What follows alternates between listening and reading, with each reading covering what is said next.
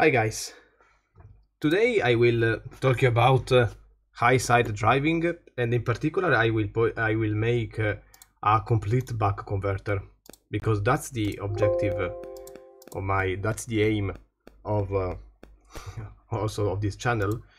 So let's uh, so let me explain a brief of theory first. You know that that the, the the the drivers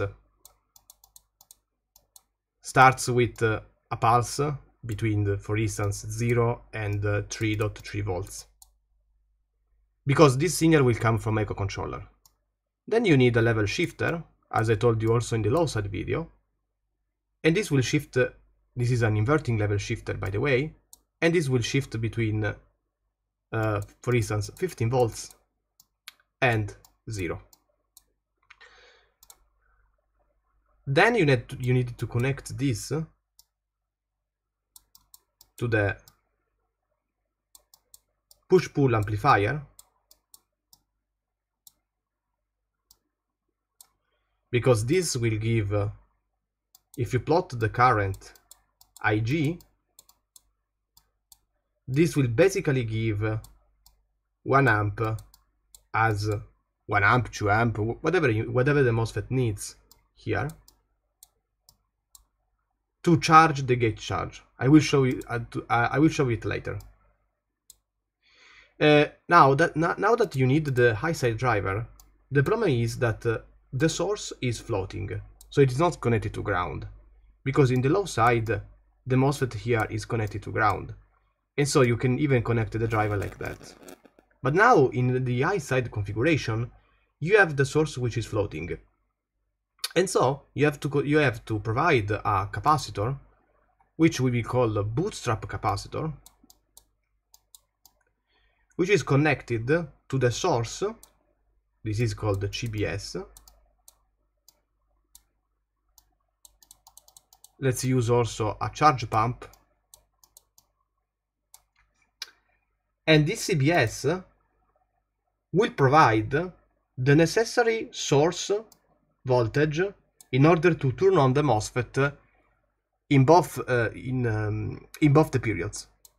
Because if if you do not if you do not put this uh, uh, this booster this bootstrap capacitor, the MOSFET has a, flo a floating source, and the, the VGS cannot be higher than the threshold voltage. I will show you how it is done in LTSpice, a practical implementation. So let's start with the pulse. You know that you need the duty cycle, let's put 0.5 and the switching frequency, let's put 100 kHz. Let's define the pulse between 0 and 3.3 volts with a rise of 10 nano and T on of uh, D over Fs and the period as 1 over fs. Now you need a level shifter. You can use a common gate level shifter, which is faster, or an, uh, an inverting level shifter. Since the frequency is 100 kHz, a non-inverting level shifter with a MOSFET should be enough. Let's choose a MOSFET with uh, a low gate driver, so that uh, we have uh, so that it is faster in comparison with a higher gate charge, and now let's put also the, the um, charge pump circuit, which is done basically by a DC and by a by a diode.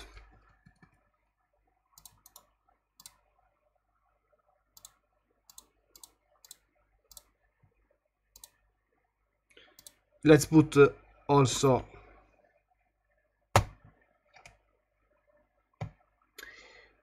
a, um, a resistor here which has to be minimized. And let's put uh, also our amplify amplification stage. PNP remember to rotate the PNP because the emitter of the two of the two transistor have to watch each other. Have to see each other. And so let's connect it like this.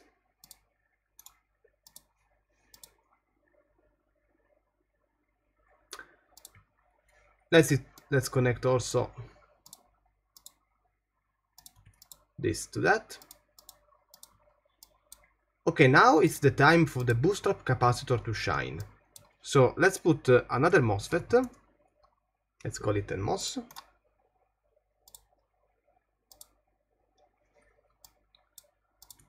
This will be is RG with one. And you have to place the bootstrap capacitor here. Let's call it CBS and let's put it to 100 nano, which is a reasonable value for the CBS. There are tons of paper, a rule of thumb, CBS must be higher than 10 times the CGS. So if you put 100 nano, most of the times you are safe, and uh, this will be also a quite small capacitor, so you, you don't have to, to care about uh, dimensions. Uh, but by the way, you can find a lot of, of application note uh, which uh, basically states how to design the CBS. I, I, I also make a video about that. So now let's put uh, an input, the, input voltage, like for instance 50 volts. And let's first put an ohmic load and let's see what happens with 1 ohm. So let's run for, let's skip the transient, so let's skip 1 milli and stop time 1.1 milli. We start from the pulse. This is the pulse which I, am going to give. Now, in this at, at this node here, I should expect that the level shifter will be inverting this pulse and also uh, rising up to the voltage of the charge pump. So yeah, as we can see in this node here, let's give me some names. Let's call this node A. So VA, let's call this node B.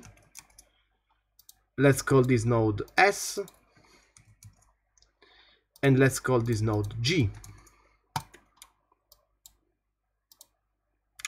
So as you can see, this is the input voltage and this is VA which is inverted and also translated to the, to the higher level provided by the charge pump.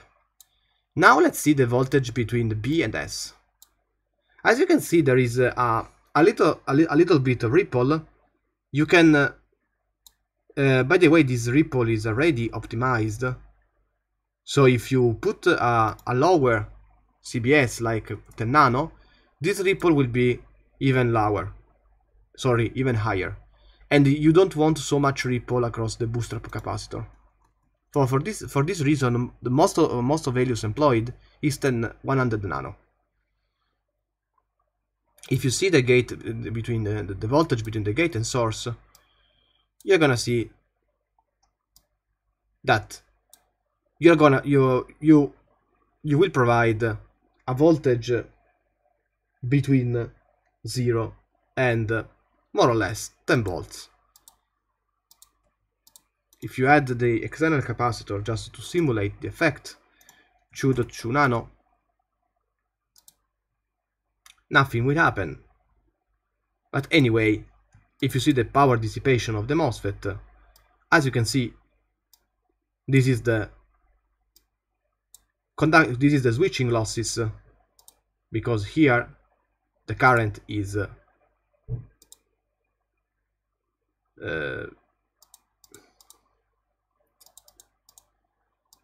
if you okay. Now now if you see that if you make the product between uh, if you make the product the product between vs and es let's add the this trace so uh, vs times es of m2 you're gonna have here a spike which is also regarded as this which is the power dissipation of the MOSFET. Uh, so now instead of an ohmic load, ah, let's see also let, let's see also the the current which is going inside the uh, inside the MOSFET. You see also, all, you see that all these spikes, So these are not a, this is not a bug. It is basically the current which is providing the, the driver in order to charge the gate charge of the MOSFET. And this will change naturally based on the MOSFET. So if I put another MOSFET which has a lower gate, a higher gate charge, for instance this, Uh, the pulse will be even higher. Or at least will be different. So as you can see, the pulse is higher because the gate charge has increased and I'm gonna provide more gate charge in order to turn on this MOSFET. Now let's put a, a buck converter as a test. So let me put the diode, 22 micro, and also the capacitor, 22 micro, 100 micro, and load. Oh, 1 ohm.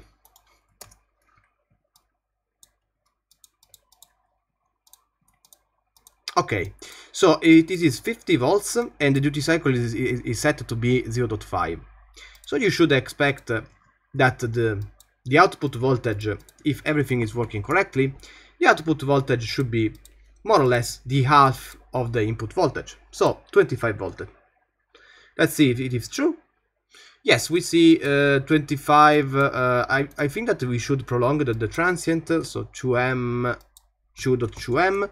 That's because I put a very high capacitor. But by the way, let's prolong it a, a little bit.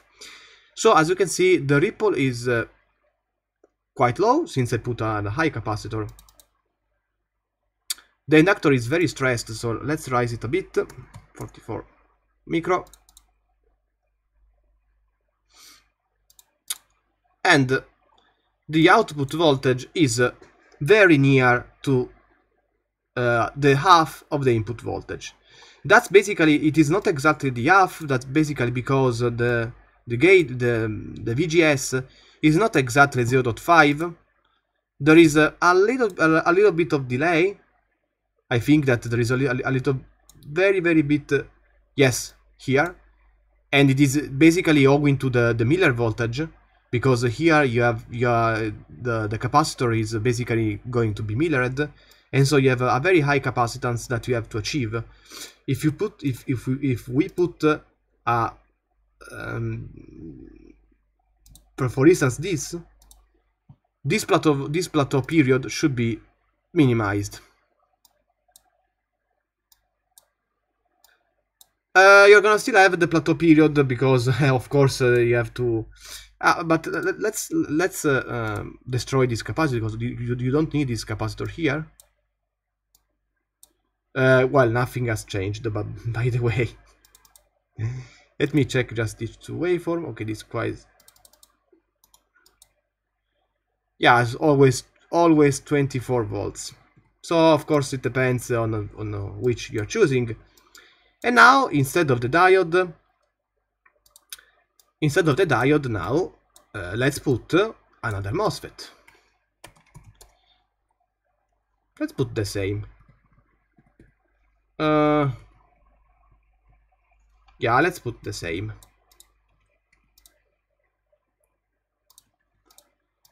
So also this diode will require, of course, uh, see uh, a low side, a low side level shifter. Uh, I have already made a low side level shifter so I will just uh, basically copy it because this is already optimized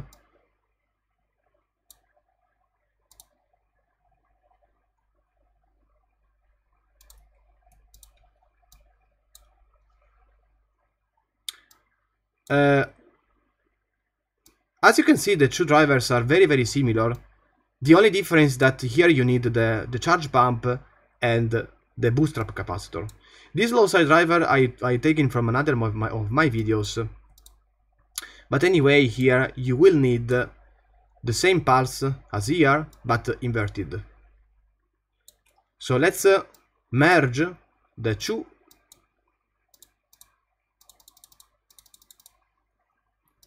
So this is the same voltage okay?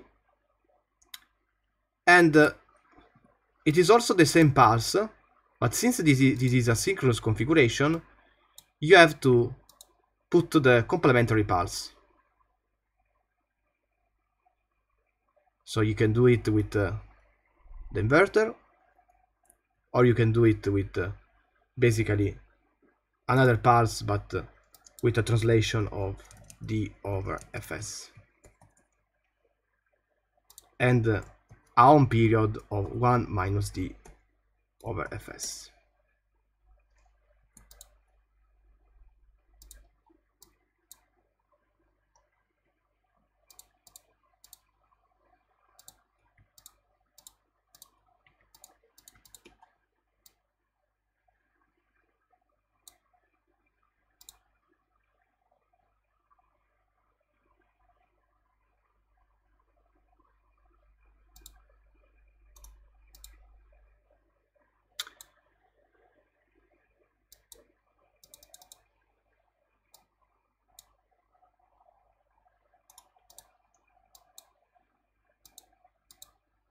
So let's check the two waveform. They should be complementary. Oops. Ah, sorry. Uh, this is a okay. The this is a, a, an inverted level shifter, by the way. Uh, okay, so uh, accidentally I put the same. Accidentally I put the same waveform.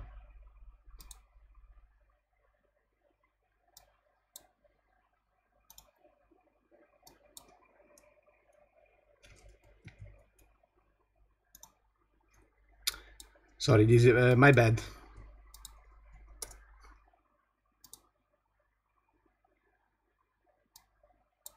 Okay, now it is a synchronous configuration. Let's see also if in, the gate driver there is this synchronous configuration here, it, it, because it should. Okay, the voltage is not synchronous. So this is what, what is really happening in, in a real driver. There is still uh, some that... No, there isn't. So there is not the time. So you can see some... Yes. When Whenever you don't put the, the time, uh, as you can see, if you don't put the dead time, huge spikes will come across the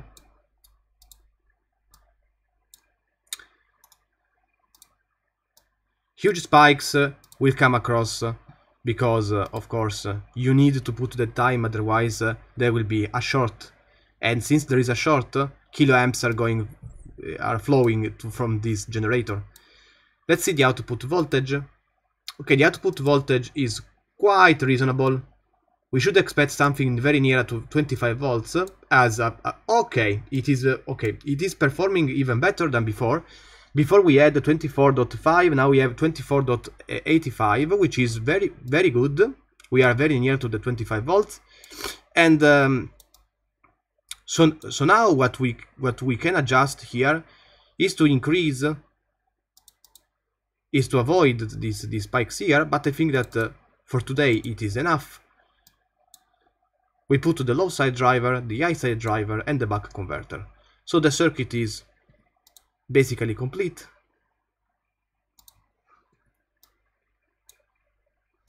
So this is the high side driver.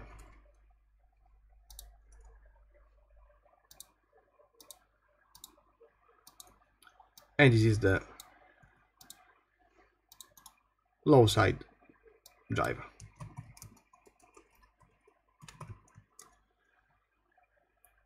Now you can even close the loop, which is not so, which which will take time, but uh, I can I I could even take uh, uh, the type three compensator, which I stored here, and uh, put it in, in the video to close the loop. But uh, I I will do it another time. So for now, this is an open loop buck converter with the drivers and if you realize this circuit, it's probably gonna work not in the most opt optimized way, because you still need the analog electronics to do it so. Now let's check also the all the waveform. This is the eh, as you can see there are some spikes but let's uh, ignore let's ignore that Oh, by the way, this is inverted as always. Always take the source.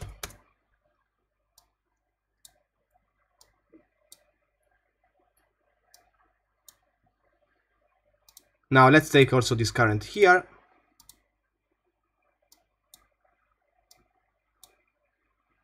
Let's put, a, again, let's put a minus.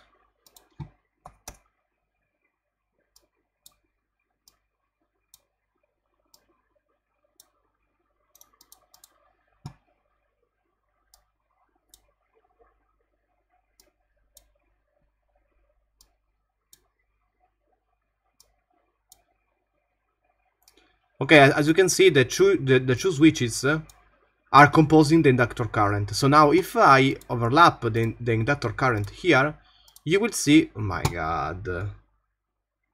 Why it is always the opposite?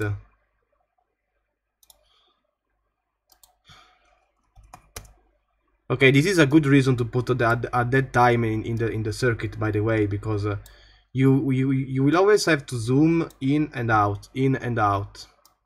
Oh, so as you can see, the inductor current, of course, is the gray waveform, and it is a, a triangular waveform as you expect. And these are the two waveforms of the synchronous. Now, other waveform in which you might be interested on, it is the current flowing into here, which is the, the same as the inductor, but without but without the without the DC component. And another waveform which you might be interested. Uh, no, there are all the waveform. So let's also put the output voltage, but as you, as you, may, as you may know, it is 25 volts. Ah, by the way, we are still in the transient, but... Uh,